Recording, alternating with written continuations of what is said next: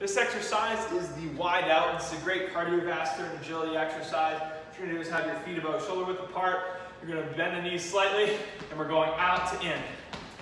We wanna get the feet going pretty quick, landing softly on the balls of the feet.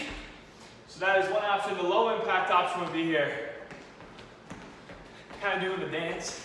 I'd get the arm, elbow flare. But in all seriousness, that's a great exercise. Work that into your workouts.